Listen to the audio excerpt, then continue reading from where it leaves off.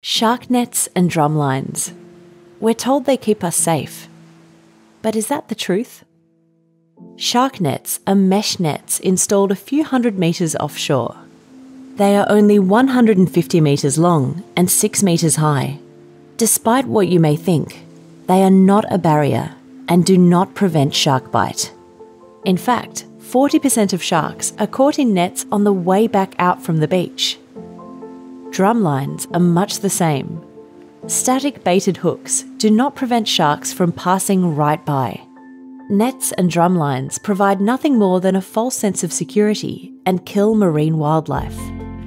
They are indiscriminate, trapping other marine animals such as whales, dolphins, turtles, and rays, causing suffering and death.